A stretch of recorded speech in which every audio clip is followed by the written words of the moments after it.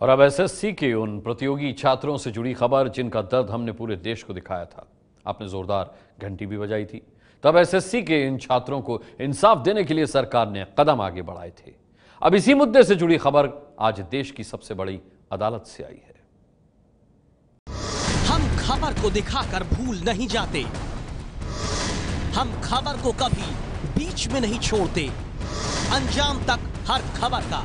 पीछा करता है एबीपी न्यूज़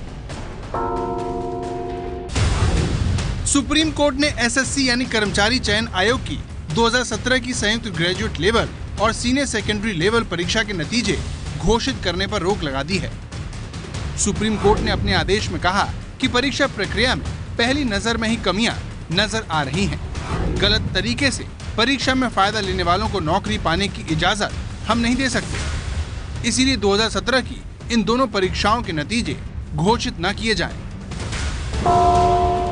एबीपी न्यूज़ ने ही सबसे पहले घंटी बजाओ शो में एसएससी प्रतियोगी छात्रों के साथ हुए धोखे की खबर देश को दिखाई थी छात्रों के भारी विरोध प्रदर्शन के बीच उनकी आवाज़ को सरकार तक पहुँचाया था, जिसके बाद सरकार को झुकना पड़ा था और जाँच सीबीआई को सौंपनी पड़ी थी।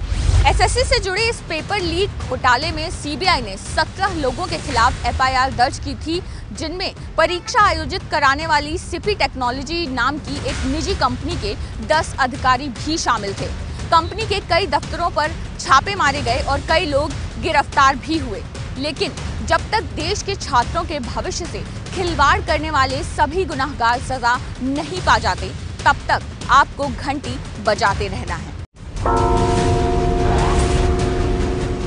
ये है एबीपी न्यूज़ आपको रखे आगे।